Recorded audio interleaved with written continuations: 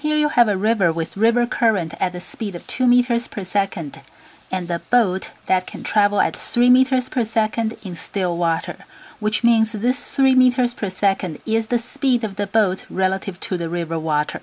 This time, the boat is going to cross this uh, 600 meter wide river.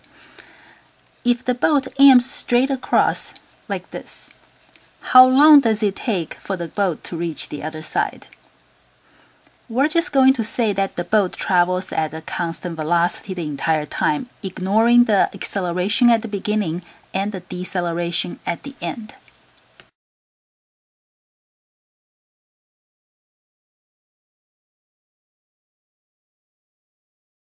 So this boat gets uh, two velocities, a 3 meters per second straight across by the boat itself and another velocity from the river current to the right. And I'm adding these two velocities together, tail to tip. So the total velocity start here and there is uh, this one.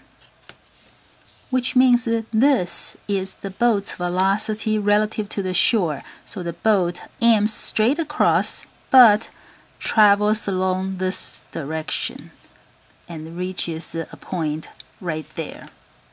So the boat aims like this, but travels along this slanted line and get to the other side. Now we want to find the time it takes to cross the river.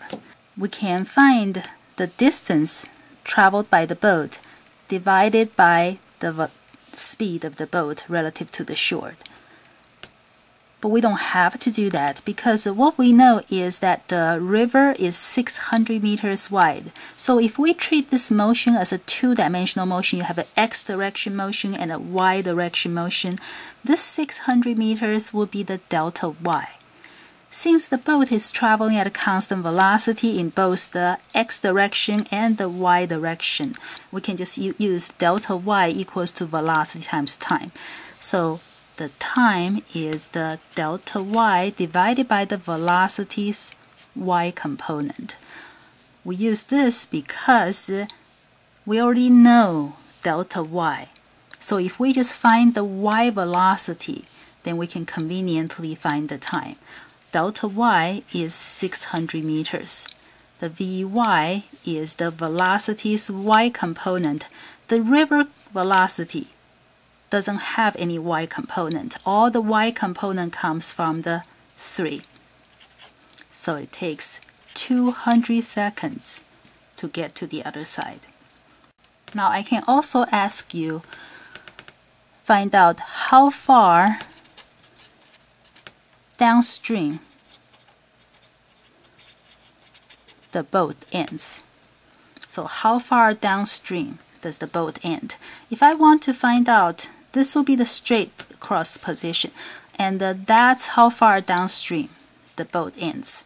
That means we're looking for delta x. Since it's also constant velocity motion in the x direction, I can say this is the velocity's x component times time. The velocity's x component is 2 and the time is 200 seconds. So the boat end up 400 meters downstream. Of course, I don't have to use this method because we have similar triangles. These two triangles are similar. That means uh, 600 to 3 would equal to delta x to 2, which will give you exactly the same answer. In fact, this distance, slanted distance traveled divided by the slanted velocity is also the 600 divided by 3. So if you had found the slanted distance and the slanted velocity, then you'll be able to find exactly the same thing because 600 divided by 3 is the same as 400 divided by 2. It's the same as the slanted distance divided by the slanted velocity. All of those will give you 200 seconds.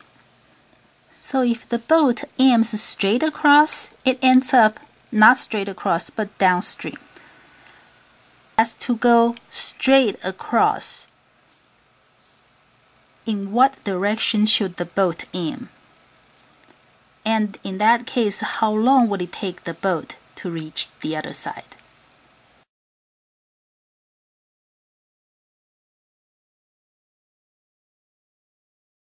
The boat will have to aim at an upstream angle. So the boat can give itself a velocity that is slanted 3, while the river current carries it downstream at the velocity of 2 and I'm adding the two velocities tail to tip. Now if the angle is just right, this point will end straight across like that. So the total velocity start here and there. The total velocity is this vector right here. So the boat aims at an angle but actually travels straight across to there. And we want to find the angle at which you have to aim and the, the time to the other side. So let's see. For the angle, for this right triangle, you can see that the 2 is the opposite side and the 3 is the hypotenuse. If you have opposite side and hypotenuse, that means you have sine theta, that is 2 thirds. That means the angle is inverse sine 2 thirds, and that gives you about 41.8 degrees. So this is the angle at which the boat has to aim, and that is 41.8 degrees upstream angle. Because uh, if the boat aims straight across, it's not an up. No, there's no upstream angle, and then the, the boat has to tilt by that angle, pointing in the upstream direction. That's why it's 41.8 upstream angle. And now let's find the time to the other side we still know the delta y. So if we want to find the time to the other side, we can do delta y divided by the velocity's y component. Now this velocity is entirely in the y direction, so this whole thing is the y component. There's no x component of the total velocity. Okay, so delta y is 600. What is this component? That's a right triangle. So you can use Pythagorean theorem because this is a squared plus b squared equals to c squared. So this one is the square root of c squared minus b squared. So it'll be 3 squared minus 2 squared, which gives you square root of 5. So you can do 600 divided by the square root of 5.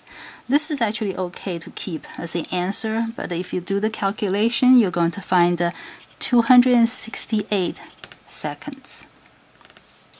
Now let's compare these two.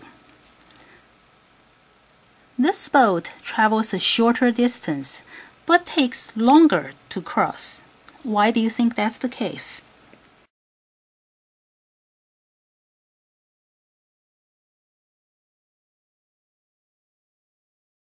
One way to look at this is that this boat spends part of its velocity to fight the current. It only has a smaller component in the y direction. But this boat uses all its velocity to try to get to the other side. So this one takes less time to get to the other side. Another way to look at this is that the, the delta y is the fixed number. 600 meters doesn't change. It doesn't matter which way you go. So the same delta y, if you want to minimize the time, you would want to maximize the velocity's y component. The river current doesn't have any velocity in the y direction. So the most y component you can get is the 3 meters per second if you use the whole 3 meters per second pointing in the y direction. If you slant it, you're going to have a smaller y component. That's why this one is the quickest way to get to the other side. But of course, if you don't want to end up downstream, then you'll have to point your boat at different angles, depending on where you want to get to.